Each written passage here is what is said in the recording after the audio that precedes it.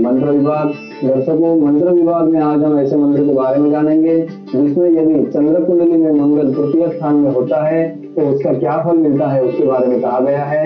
यह मंत्र इस प्रकार से है।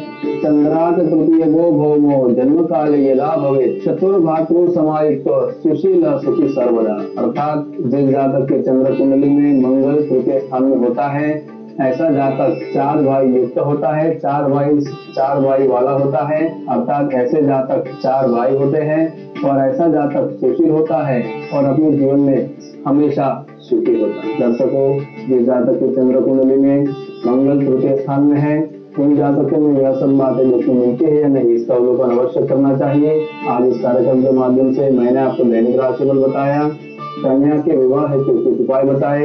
विशेष में आज हमने राहु और केतु के जन्म कुंडली के ऊपर से गोचर के भ्रमण के फल के बारे में जाना और मंत्र विभाग में आज हमने ऐसे मंत्र के बारे में जाना, जिसमें चंद्र कुंडली में यदि मंगल तृतीय स्थान में होता है तो उसका क्या फल मिलता है उसके बारे में कहा गया है।